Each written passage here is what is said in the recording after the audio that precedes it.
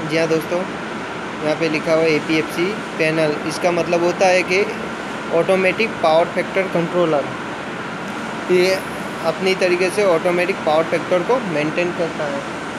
जैसे कि, जैसे इसकी लाइन पैरेलल दिया हुआ है। अगर पैरेलल में है तो पावर इधर भी आएगा तो क्या कि उधर सीटी कनेक्टेड किया हुआ है। सीटी से क्या कि ये अपना कंट्रोलर है जो पावर को ऑब्ज़र्व करता है कि कितना पावर हमारे थ्री फेस की लाइन में आ रहा है।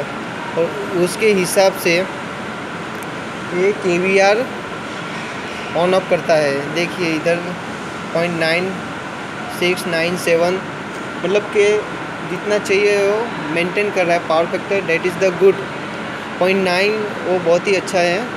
Point nine five point nine six देखिए, इसको पावर फैक्टर कंट्रोलर कहते हैं। ये मेन पार्ट्स होता है।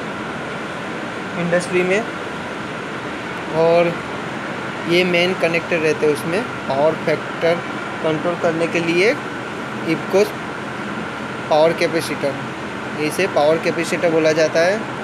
25 फाइव के रेंज है इसकी।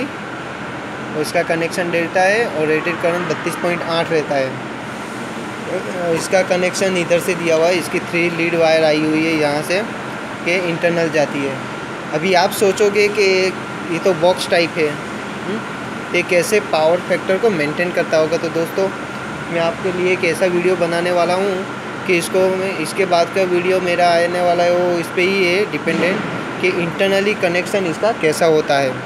तो मैं आपको बताऊँगा कि इंटरनली इसका कैसे कनेक्ट किया होता है। आपने सुना होगा या तो पढ़ा होगा कि कैपेसिटर को डेल्टा में कनेक्ट किया जाता है। तो इसमें कैसे डेटा कनेक्टेड है, वो मैं आपको अलग से वीडियो बना के दिखाने वाला हूँ। तो ये मेरे कैपेसिटर लगे हुए इसमें अलग अलग रेंज के हैं। ये आपको जो बॉक्स दिख रहे है, उसको फीटर बोला जाता है। इधर पाँच फीटर और इधर चार मतलब टोटल नाइन फीटर लगे हुए हैं। और इसकी range 250 fifty K V R की two fifty K V R के रेंज के कैपेसिटर को ये नाइन फीटर में डिवाइड कर दिया गया है। ये इसका एम्पियर मीटर है और ये वोल्ट मीटर है। तो इंटरनली ये कैसे कनेक्ट है? इसमें क्या है कि सीटी कनेक्टेड है। सीटी से ये देखिए। इंटरनली सीटी कनेक्टेड है, जहाँ से ये यहाँ पे लिया गया है। ये एवरेज सिटी का कनेक्शन का दिया हुआ है और नीचे है वो कोयल का कनेक्शन दिया गया है। ये अपना साइक्लोन ये पावर फैक्टर कंट्रोलर का कनेक्शन है। इधर सब कोयल के कनेक्शन आए हुए हैं और ये अपना वोल्ट मीटर का कनेक्शन है। तो दोस्तों, ये अपना एपीएफसी है, ऐसे काम करता है, इसका कनेक्शन पैरेलल में में पीसीसी पैनल के साथ किया हुआ है। ये अपना स्विच है, जहाँ से हम इसको ऑन ऑफ़ कर सकते हैं। ये अपना पीसीसी पैनल है, जिसका कनेक्शन किया हुआ है। ये पीसीसी पैनल है। ये हमारा यहाँ से एपीएफसी पैनल का कनेक्शन किया हुआ है कि हम इधर से कनेक्ट कर सकते अगर जब इलेक्ट्रिसिटी का पावर जाता है तो हम इधर से इसको ऑफ़ कर देते हैं। अगर इलेक्ट्रिसिटी पावर आता है तो इसको ऑन कर देते हैं। तो ये अपना एपीएफसी पैनल है। नॉर्मली क्या होता है दोस्तों के इंडस्ट्री में पावर का कंजम्पशन ज़्यादा होता है और नॉर्मली क्या है कि 90 परसेंट से ज़्यादा लोड मोटर का रहता है। मोटर रिएक्टिव पावर कंज्यूम करती है मैग्नेटिक फ़ील्ड पैदा करने के लिए। जिसकी वजह से क्या होता है कि, कि लॉस ज़्यादा हो जाता है और कंजम्पशन कम जिसकी वजह से टोटल यूनिट ज़्यादा बढ़ जाती है। ये और अपना कंजम्पशन कम होता है।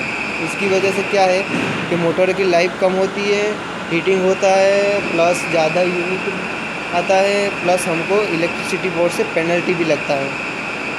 इसी वजह से हर एक इंडस्ट्री में या तो कॉमर्शियल बिल्डिंग में ऐसी एपीएफसी पैनल बिठाई रहती है। तो दोस्तों, आगे मैं आपको दिखाऊँगा कि इसका इंटरनली कनेक्शन कैसा होता है और उसके बाद में जो वीडियो बनाने वाला हूँ वो बहुत ही इम्पोर्टेंट है क्योंकि ये कैपेसिटर कैसे वर्क करता है, उसका टेस्टिंग करेंगे लाइव टेस्टिंग में आपको दिखाने वाला हूँ इसका कि भाई ये कैपेसिटर चल रहा है, वो सही है या गलत है। ओके? अगर सही है तो कैसे सही है? अगर गलत है तो उसको कैसे से काम कर रहा है, इसको निकालना चाहिए, नहीं निकलना चाहिए that is the very important thing तो दोस्तों, मेरा वीडियो आपको कैसा लगा?